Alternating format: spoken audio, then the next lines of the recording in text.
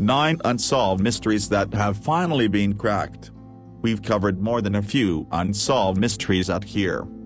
There's an exhilaration in trying to piece together clues that have eluded detectives over the years. Some of the unsolved mysteries that puzzled us a few years ago aren't mysteries anymore. Today, we're going to revisit those mysteries and find out how the pieces came together when they were solved. 9. Lori Ruff's true identity. A six-year investigation into the true identity of a woman who called herself Lori Erica Ruff has finally yielded answers. In 2010 the mystery woman took her own life, leaving behind two suicide notes, which authorities at the time said were ramblings from a clearly disturbed person. Following her death, caused by a self-inflicted gunshot wound, her husband Blake Ruff learned the woman he married and the mother of his child was not who she claimed to be. The combined efforts of Social Security investigator Joe Velling and a nuclear physicist turned genealogist, Colleen Fitzpatrick, has revealed Lori Erica Ruff's real name was actually Kimberly McLean, effectively closing the Texas case, according to the Houston Chronicle. A DNA analysis, using a sample from Ruff's daughter, allowed investigators to trace the woman back to a Pennsylvania family whose daughter had vanished in 1986 when she was 17 years old, the newspaper reported. The family was able to positively identify Ruff as their daughter, who disappeared shortly after her mother remarried. They speculated she left because she did not get along with her new stepfather. Ruff's charade first began back in 1988 when she requested the birth certificate of a two-year-old girl who was killed in a house fire. She went on to assume the girl's name, Becky Sue Turner, for several months before moving to Idaho and legally changing her name to Lori Erica Kennedy. She eventually moved out to the Dallas area where she met and married Blake and in 2008, after multiple tries, the couple was able to have a daughter by way of in vitro fertilization. Ruff was extremely protective of her little girl, sometimes refusing to let her in-laws spend time alone with her. Her husband's family had always been a bit put off by her oddness and secretive nature, and in the end, the growing tension proved to be too much for Blake. In the summer of 2010 he moved out and filed for divorce after a bout of unsuccessful marriage counseling. This caused Lori to spiral. She began sending the Ruff family threatening emails and made it as difficult as possible to exchange custody of her daughter. On the morning of Christmas Eve that same year, Blake's father found her dead inside her car. She was 41 years old. After her funeral, the Ruffs began digging into Lori's past and eventually found a strong box which contained her Idaho ID reading Becky Sue Turner, the copy of the birth certificate and scraps of paper. Until now, Lori Erica Ruff was known to authorities as Jane Doe, a woman of mystery who jumped from state to state, taking on the identities of other people. On Monday though, Lori Ruff's name was removed from the federal government's database of missing and unidentified persons. 8. The Grateful Doe identified. A man who died in a crash on a Virginia road in 1995 left few clues to his identity behind, a star tattoo on his arm, two Grateful Dead ticket stubs and a note addressed to someone named Jason. Online the young man became known as Grateful Doe as composite images circulated last year. Thanks to some amateur detective work, he has now been identified as Jason Callahan, a 19-year-old from Myrtle Beach, SC, officials in Virginia confirmed to the Associated Press on Thursday. Jason's name had been circulating among online communities of deadheads, as well as among online sleuths. The anonymous user Greymetal began circulating the composite on Imgur a year ago and posted an update after someone provided photos of a former roommate and Grateful Dead fan named Jason who looked very similar to the composite. The roommate didn't know Jason's last name, but the case was also helped along by people on Facebook, Reddit and Web Sleuths, a site dedicated to unsolved mysteries. A Grateful Doe Facebook page created in 2012 had drawn more than 13,000 followers who were interested in identifying the crash victim. On Reddit, more than 3,000 sleuths had joined a subreddit of the same name. Many users circulated sketches and composites of Grateful Doe within online Deadhead communities and local media outlets. Lesha Joannek, a 26-year-old Minnesota woman who operates several true crime Facebook pages, including the Grateful Doe page, said in an interview that Mr. Callahan's mother, Margreta Evans, contacted her on Facebook after hearing a local broadcast in Myrtle Beach. Miss Joannek said that she worked with the lawyer to verify that Miss Evans was actually Mr. Callahan's mother. Then, in January, Miss Evans filed a police report, saying that she had not heard from him since June 1995. The crash occurred that same month, when a Volkswagen van Mr. Callahan was traveling and crashed into two pine trees on a road near Emporia, VA. The driver of the van, Michael Eric Hager, 21, was thought to have fallen asleep at the wheel. Both the man died of head wounds, and Mr. Callahan's injuries rendered him unrecognizable. Based on the ticket stub information, the police believed that Mr. Callahan had seen a Grateful Dead show at RFK Stadium days before the crash. Both ticket stubs in his pocket were for that show. It was not clear that Mr. Callahan and Mr. Hager were among the many fans who followed the Grateful Dead from show to show in those years. Even so, Deadheads have claimed Mr. Callahan and Mr. Hager as their own and offered their condolences. They died the same year the Dead stopped touring, after Jerry Garcia, the lead guitarist and singer, died in August. Indeed, their van was not headed in the direction of the next show on the tour, in Michigan. The men were heading south. Mr. Callahan's mother told the police that her son was a frequent runaway, and that she had not known where to report him missing. No one ever thought to report him missing because they thought he wanted to be missing, his half-sister, Shannon Mitchelson, told the AP in the month since Mr. Callahan was identified as a possible match. Miss Joannek has served as an informal intermediary between the curious public and his relatives. I can't explain the feelings I get when talking to Jason's family, she wrote in April. I spent years trying to find the family of Grateful Doe, only to find that success is heartbreaking. Miss Joannek said that she believed the success of this case would help locate others who are missing. I am really stressing to news stations to please mention to people to check in on a loved one if you haven't heard from them in years or even a friend that just up and vanished, she said. A lot of families are split apart and some don't even know if their family member is missing if they didn't have contact.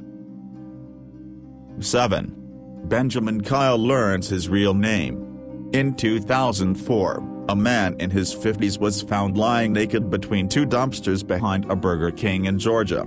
He had been hit three times in the head, and he couldn't remember his own name. He picked up the nickname BK and fleshed it out to Benjaman Kyle. Benjaman lived out the next decade of his life with no clue who he really was. CeCe Moore, a genetic genealogist, took the job of tracking Benjaman's past down, and she found out he'd been missing for a lot longer than 10 years. He ran away from his parents in 1976 and hadn't spoken to them since. Benjaman's real name hasn't been revealed because he wants to keep his privacy. He has, however, reunited with his family, which, ironically, might never have happened if he'd never gotten amnesia. Orlando, Florida, the man who can't remember his past came to Orlando in search of a future. For more than a decade, he called himself Benjaman Kyle, because he didn't know his real name. It was like I was a ghost, he said Monday. Legally, I didn't exist. Kyle, whose extraordinary ordeal has been featured by Dr. Phil McGraw's syndicated TV show, CNN and National Geographic, was diagnosed with retrograde amnesia 11 years ago when he was found unconscious behind a Burger King in Georgia. The cleaning woman who found him near the restaurant's dumpster told a dispatcher in Richmond Hill, Georgia, a suburb of Savannah, that she thought he was dead. He was naked and covered with fire ant bites. Police found nothing to identify him at the scene and called paramedics to take him away, figuring he was homeless. When he awoke, he couldn't help authorities solve the mystery. One of the only biographical facts he recalled was his birthday, he was exactly 10 years older than pop singer Michael Jackson. You see it in the movies, someone gets conked on the head and they forget everything. Oh, yeah, right, said Jacqueline Dowd, an attorney with IDignity, an Orlando organization that helps homeless and other low-income people get government-issued identification. But, in this case, it's true. We've seen the medical records that prove he does have that condition. IDignity invested more than two years helping Kyle collect documents needed to prove he wasn't a ghost. DNA testing, meanwhile, proved recently that he wasn't Benjaman Kyle either. While in the hospital, he had assumed the name Benjaman Kyle partly because the hospital staff had dubbed him BK Doe, for Burger King, and partly because he thought Benjaman sounded vaguely familiar, although it's usually spelled Benjamin. A YouTube documentary titled Finding Benjaman explores his rare condition, his quest for his identity and the struggle to live in the United States without a government ID. The film begins, Hello, my name is Benjaman Kyle. You don't know who I am and, quite frankly, neither do I. It also claims Kyle was the first U.S. citizen whose whereabouts were known, but who nonetheless was listed on the FBI's Kidnapped and Missing Persons database. His fingerprints turned up no criminal record. In the 2012 documentary, Kyle said, It's pretty pathetic if no one's actually looking for someone that disappeared. Isn't there anyone important enough in your past life that would want to look for you? A genetic genealogist finally helped him learn his true identity. The method was similar to a process developed for adopted people who want to identify their birth families. The scientists' team compared Kyle's DNA to records and databases across the country to find clues. Kyle, 67, of Jacksonville, Florida, could have obtained his state ID card anywhere in Florida, but chose Orlando because it's home to IDignity. The organization tracked down his birth certificate, original social security records and other documents, some of which had to be amended because the names on the paperwork did not match precisely, and they have to, Attorney Dowd said. To assemble the documentation necessary for a name he hasn't used in over 10 years took some doing, she said. Michael Dippy, IDignity's executive director, said government-issued identification is essential to American society. Kyle, for instance, could work only under the table, because he couldn't get a government-issued ID. Without it, you can't apply for a job, collect government benefits, sign a lease, enroll in school, get a library card, write a check, cash a check, and, in some places, you can't even stay at a homeless shelter. Dippy said. Kyle said he won't reveal his true identity until he meets with relatives in Indiana, his birth state. Some may have thought he was dead. He obtained his Florida ID card Monday, aided by IDignity, which paid the $31.50 state fee. The laminated card, which includes a hologram as a counterfeiting deterrent, features his picture, which he said looks terrible, and his birth name. Brenda Haynes, who processed Kyle's state ID, said almost everyone complains about his or her picture. Kyle described the ID card as a big turning point in his struggle and exclaimed, I now exist, and can prove it. He said he intends to have his social security number tattooed on his backside, as a precaution. If that's true, it's a good thing Kyle has a state ID card. Florida tattoo shops require customers to show ID, Kyle says he is not disclosing his name until he meets his relatives. 6. What happened on the Mary Celeste? In 1872, the crew of the Mary Celeste disappeared without a trace. Her story only got weirder from there.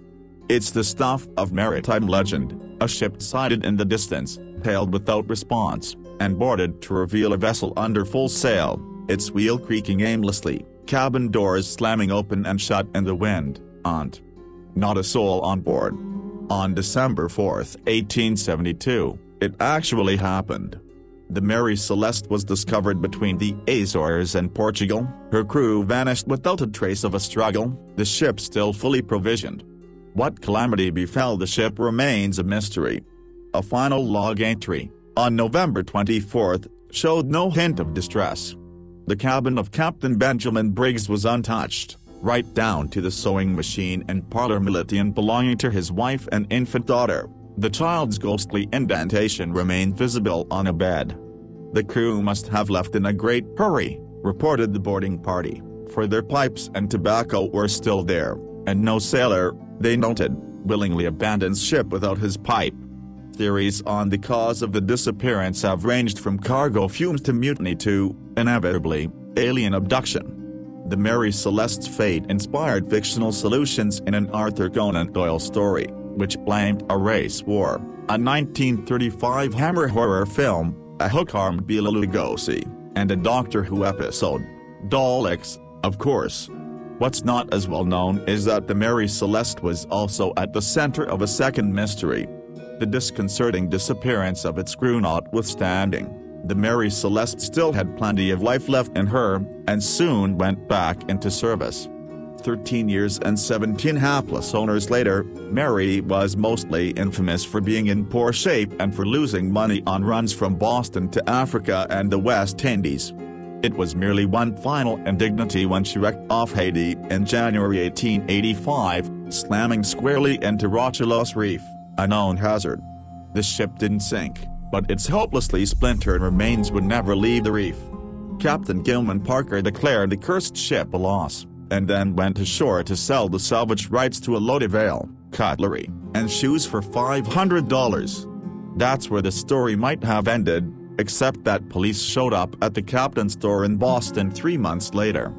The Mary Celeste, they charged, was a 280-ton, fully rigged insurance scam. The July 1885 trial of Captain Parker and the ship's co-owners, now buried in the Boston Globe archives, offers a fascinating glimpse into a Gilded Age flimflam. Laying out charts and totting up blackboard figures in a broiling Boston courtroom, prosecutors revealed a chain of scams that reached from Haiti back to the alleyways of their own city. Captain Parker might have pulled it off, too, except that he'd gotten greedy not content to rip off just his insurers, he also tried to con the local salvager in Haiti. The salvager hadn't found anything near the 125 casks of Bass Ale promised on the ship's manifest, and the few he did locate weren't exactly good drinking. Called to the stand, a Boston bottler revealed they were moldy blanks with Bass labels pasted to them, and filled with a large bottom of barrel runoff from smashed and leaking bottles. The bottler hadn't even bothered filling many of them, some were half full, some a third full, and some just enough to wet the bottle. The rest of the cargo was similarly suspect. The 975 barrels of New Fortune herring? That was actually 780 barrels of rotten fish that stank so badly that one fish merchant said it was good only for fertilizers. Wooden barrels of fine butter proved to be rank slush. The Haiti-bound food cargo was so foul that one conspirator was overheard musing, if these N eat that fish and drink that beer, they will all be dead. A crate supposed to contain $1,000 in cutlery, when pried open, revealed $50 worth of dog collars. Boxes of women's high-button boots were old galoshes. The ship and its cargo, covered by five insurers for a whopping $34,000, were hardly worth the kerosene necessary to burn the wreck. Captain Parker, in short, was in deep trouble. The defense lawyers were wild, one investigator later marveled of Parker's shambolic team. Parker's attorney cited famed Massachusetts eccentric Lord Timothy Dexter, a late 18th century merchant who supposedly shipped mittens and warming pans to the West Indies to assert that the Mary Celeste's cargo belonged to a splendid tradition of crazy like a fox speculations. If the vulpine side of the simile was left unexplained, the crazy part was easy to spot. Haitians didn't typically buy new bass ale or salted herring, let alone rotten beer and fish. They say the goods were overinsured. Suppose they were. It is a common thing to overinsure, sputtered Parker's attorney. And if the crew said the goods were worthless, well, everyone knew they liked to tell stories. Spinning a yarn is a sailor's phrase, he insisted. Perhaps yarn spinning could also explain the crew members who saw Captain Parker toss the ship's papers overboard, proclaiming they're gone. No one will know what's in them. And maybe it accounted for the first mate's claim that he dissuaded Parker from a plan to wreck by the more dangerous Turks Islands, pleading, for God's sake don't pile her up there, we shall all be drowned. But it wasn't so easy for the defense to explain a letter in the captain's hand, dated two months after the wreck, which the first mate also produced, E. Boston, March 5. 85 I would advise you not to know too much about cargo for the shippers have put in their bill of invoice to the adjusters and the protest and logbook as that stand is all that I want. You will be called over to the insurance lookout you do not get in the wrong track by knowing too much. G.C. Parker after days of testimony, now it was the jury who knew too much. They had to decide whether Parker's plot deserved the conviction on the maritime charge of barratry deliberate destruction of a vessel, a crime then punishable by death. After counts and recounts, the jury returned with a shocker, they deadlocked, 7-5, with the majority in favor of conviction. The five holdouts, it seemed, just couldn't bring themselves to send a man to the gallows over rotten fish and bad butter. Three years later, and perhaps with the abandoned prosecution of Captain Parker in mind, a Massachusetts congressman worked to amend the barratry law so that it would no longer be a capital offense. The penalty of death would be simply shocking, he admitted to a House committee. In many cases juries refused to convict, even when guilt was proved, as the only way to prevent a greater evil. But the doomed ship seemed to carry its own sentence, nearly everyone else indicted in the conspiracy went bust, and Captain Parker died under obscure circumstances just three months after his trial. They might have taken heed of the fate of David Cartwright, a previous owner who had already lost a small fortune on the Mary Celeste. Of all the unlucky vessels I ever heard of, he would recall, she was the most unlucky. 5. Caledonia Jane Doe identified. A teenage girl found dead in an upstate New York field in 1979 has finally been identified. The Livingston County Sheriff's Office identified the girl as Tammy Jo Alexander, who was a teenager from Brooksville, Florida, according to a release on Monday from the department. Police are still investigating who killed Alexander and how she ended up in a field in the town of Caledonia, about 18 miles southwest of Rochester. Alexander was born in Atlanta, Georgia in 1963 and attended high school in Brooksville. She went missing from Brooksville sometime between 1977 and 1979, according to the Rochester Democrat and Chronicle. Her body was found after midnight on November 10, 1979, about half a mile from the highway. Police said Alexander was shot in the head with a .38 caliber handgun dragged into a cornfield and then shot in the back. Police investigated the murder, commonly called the Caledonia Jane Doe case, over the past 36 years. They interviewed thousands of leads worldwide, including convicted serial killers, the Democrat and Chronicle reports. Former Livingston County Sheriff John York told the Democrat and Chronicle in 1999 that heavy rain washed away much of evidence from the crime scene, Alexander was found with no identification on her. York said it was as if Alexander just dropped there from nowhere. Livingston County Sheriff Thomas Dougherty said the office worked with the Hernando County Sheriff's Office in Florida to follow up on new leads that emerged last year. A friend of Alexander filed a missing persons report, and police interviewed several family members. DNA results from one of Alexander's sisters confirmed the identity of the girl found 36 years ago. 4. Chelsea Bruck's murderer. A man has been arrested almost two years after the naked body of a 22-year-old Michigan woman who went missing from a Halloween party was found. Chelsea Bruck was last seen on October 26, 2014, in Frenchtown Township after going to a party while dressed as Poison Ivy. Witnesses at the time told police she had been seen about 3 a.m. in a parking lot with an unidentified man.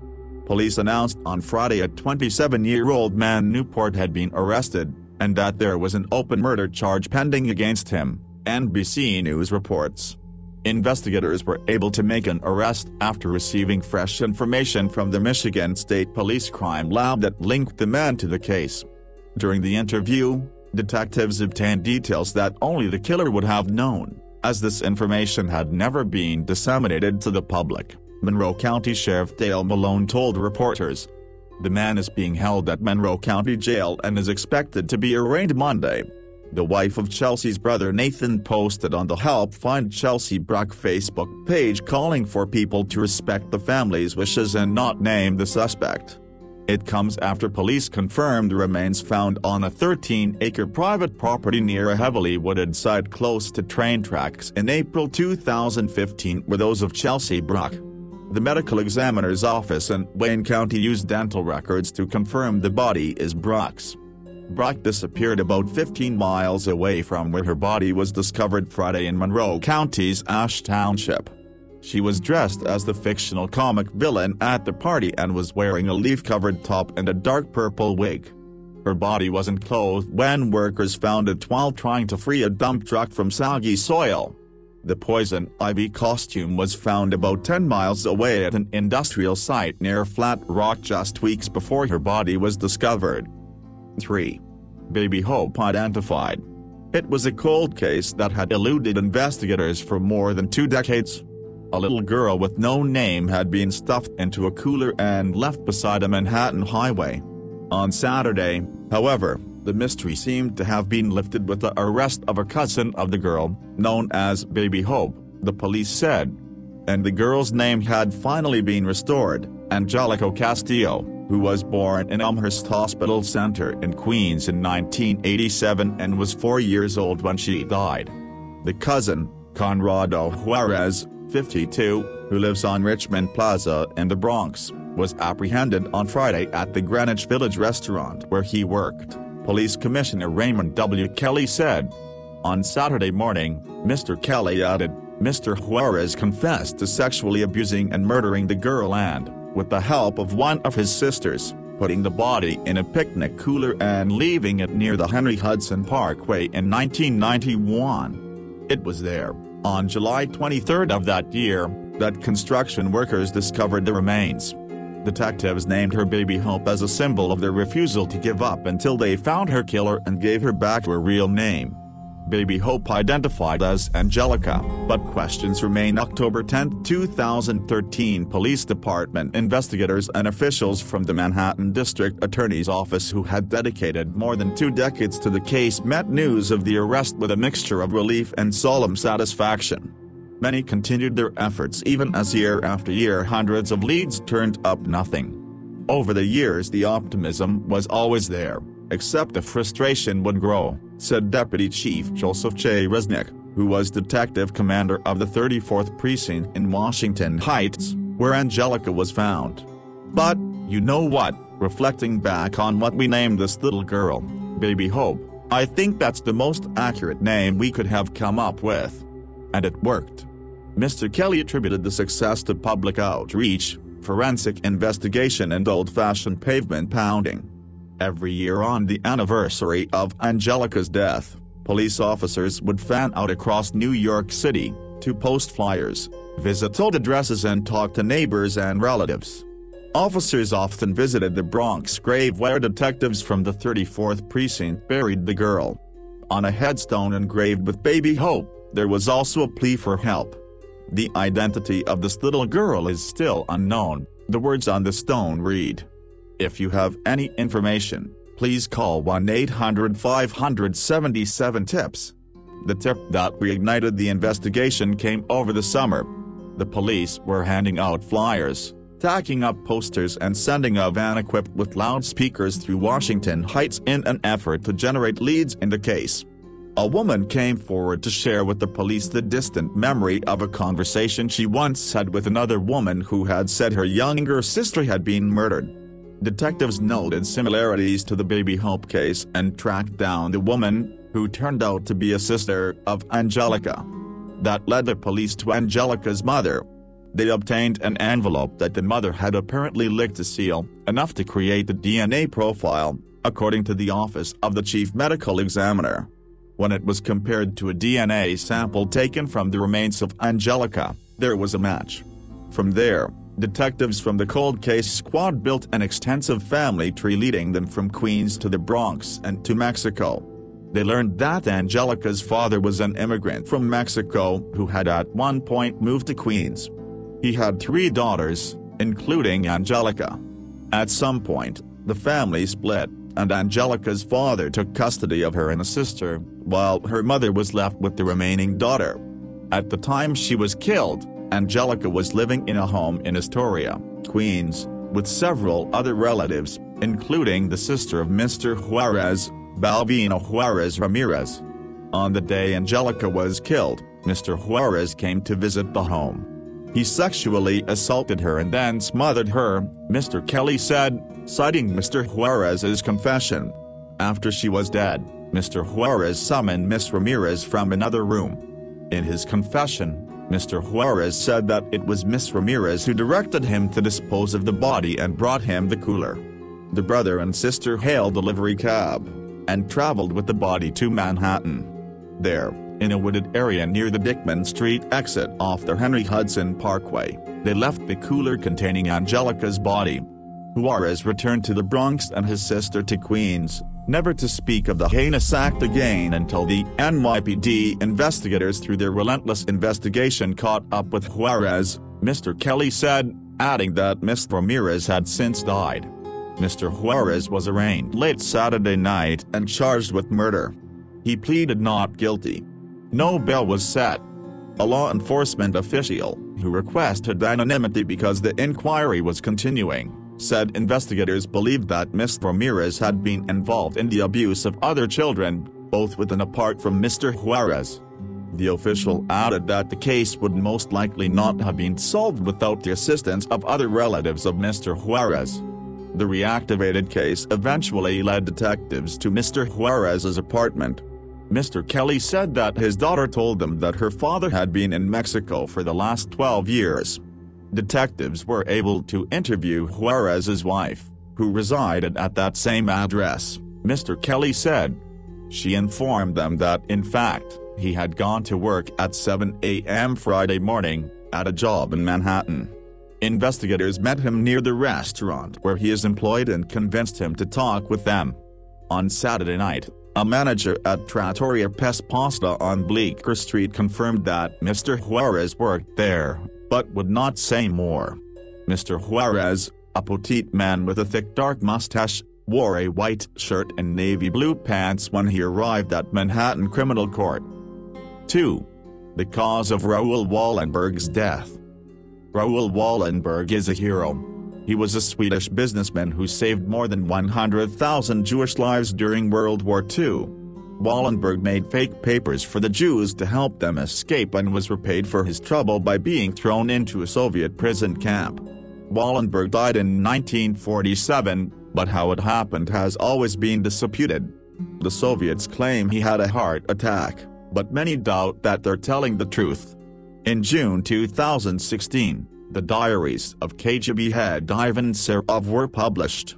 Inside, he writes, I have no doubts that Wallenberg was liquidated in 1947. He further claims that Wallenberg was killed on orders directly from Stalin and Molotov. The diary entry isn't entirely conclusive, but it makes it clear that the KGB didn't believe that Wallenberg died by accident. Even within the highest ranks, it was accepted that Stalin had him killed. The mystery surrounding the disappearance and death of Raoul Wallenberg, the Swedish diplomat who saved tens of thousands of Hungarian Jews during the Holocaust, has returned to the headlines with the recent publication of Soviet general and first KGB head Ivan Serov's diaries, which may provide a solution to the affair. Behind the diary's publication is Vera Serova, the KGB chairman's only grandchild. Four years ago, Serova, a retired ballet dancer, wanted to renovate her grandfather's Moscow dacha, which she inherited. The workmen found the journals and suitcases hidden inside the garage wall. They were disappointed that the treasure turned out not to be money or jewels but only papers. The book, Notes from a Suitcase, Secret Diaries of the First KGB Chairman, found over 25 years after his death, was published in Russia in June. I have no doubts that Wallenberg was liquidated in 1947, the ex-head of the former Russian secret police and intelligence agency writes in his diaries. Wallenberg was killed in a Soviet prison and Serov quotes his predecessor, Viktor Abakumov, as saying the order to kill Wallenberg came from the top, Joseph Stalin and then Foreign Minister Vyacheslav Molotov.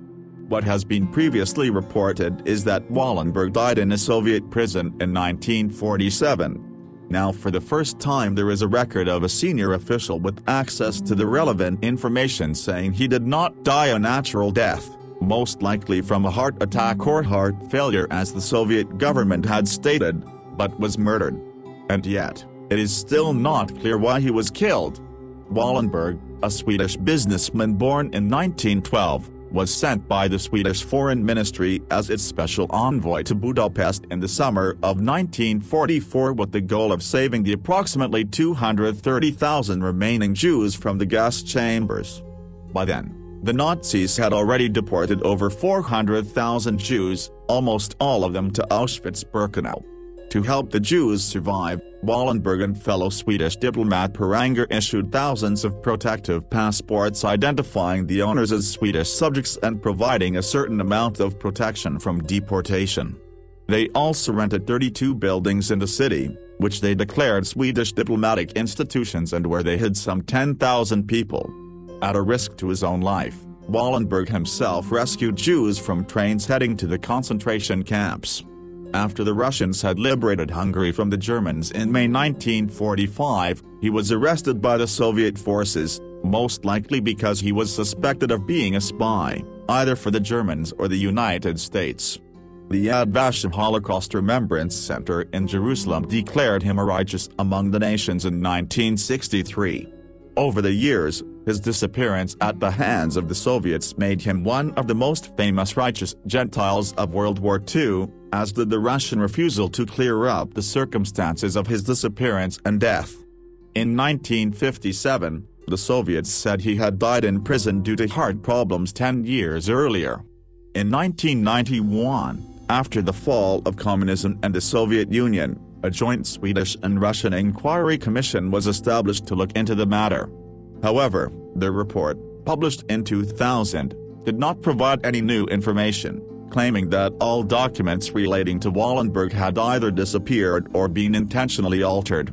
Serov, who died of a heart attack in 1990 at age 84, wrote in his diaries that he had examined the Wallenberg file, the Soviets have always denied that such a file existed, and found evidence that Wallenberg's body was cremated after his death, in the form of a document signed by two officials of the Lubyanka prison in 1947 testifying to the cremation.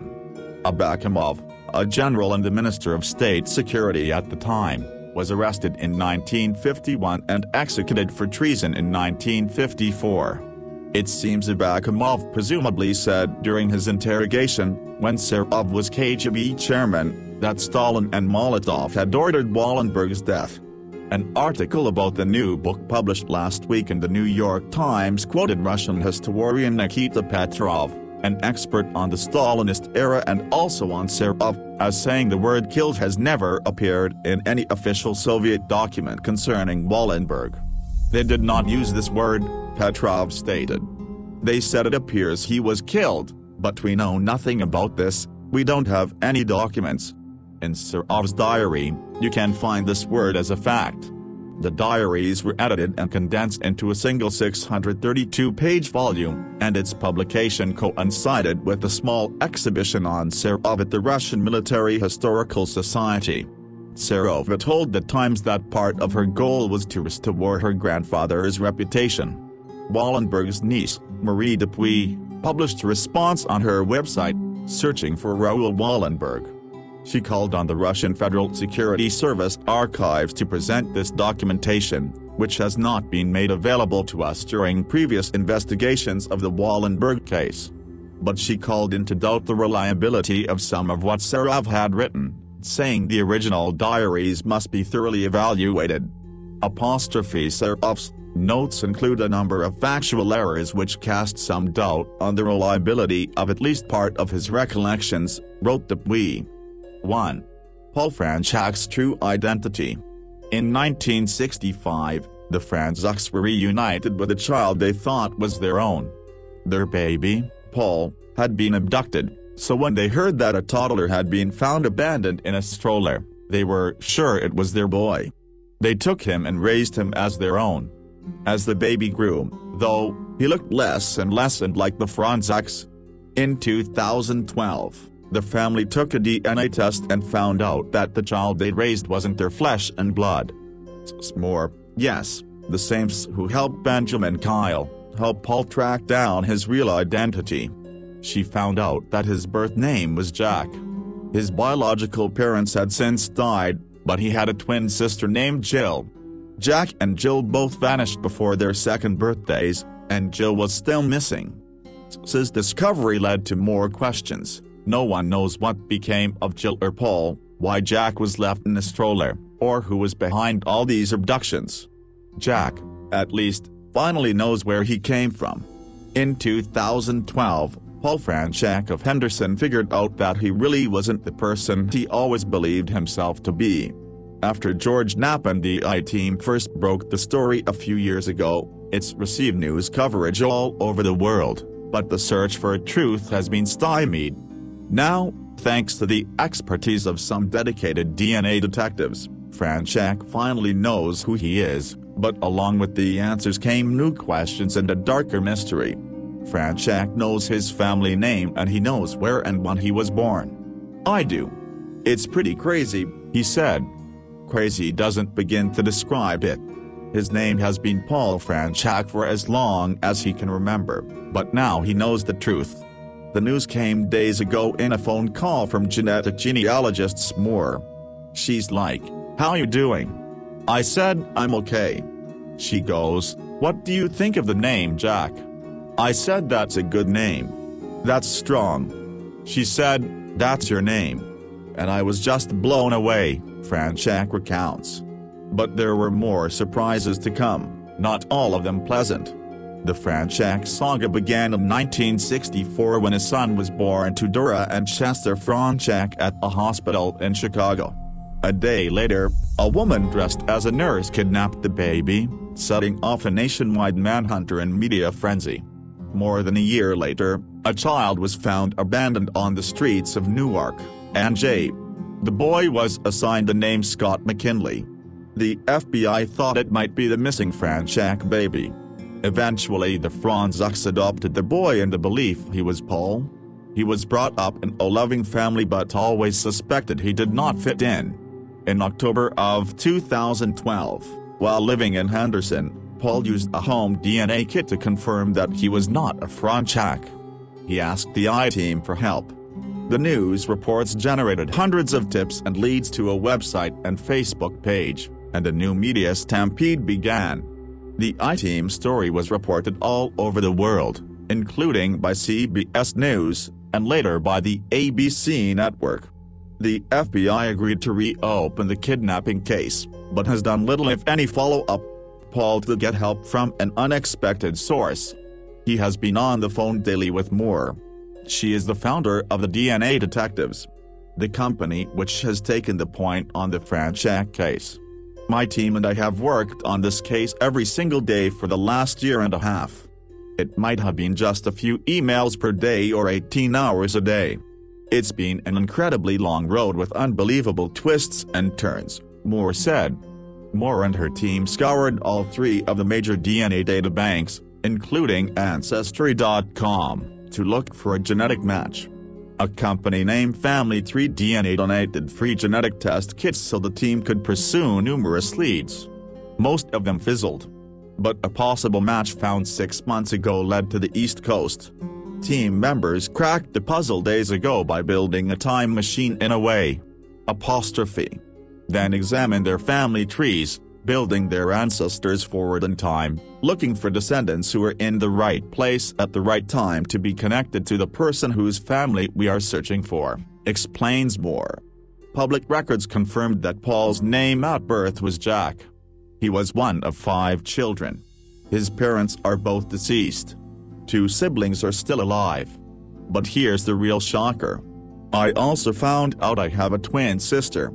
My name is Jack. My twin sister's name is Jill. She's missing Fronczak said. We have no record of what happened to her. Our research indicates that both her and I mysteriously disappeared before our second birthdays. I was found abandoned in Newark and we have nothing on Jill, he added. Paul is not yet releasing the family name. He wants to protect the family's privacy and he needs time to piece together the larger picture. The relatives he has contacted so far have told him dark tales about his parents. His birth father allegedly warned family members to never mention the twins. Both sides of the family were told that the other family had the twins. So no one knew that the twins were missing. Some of the family had no clue that the twins ever existed, Fronczak said. He was told that in one family photo album, a page devoted to the twins was literally ripped out. Birth records exist for his sister Jill, but no death certificate. It's one thing to learn who you are, but like I said, it's bittersweet because, I have a twin sister out there that vanished just like I did. What happened to her, you know. One scenario being explored is that Paul's sister might have met with foul play and her death was covered up. And there is also the other mystery, what became of the biological Paul Fronczak, the baby kidnapped from the Chicago hospital?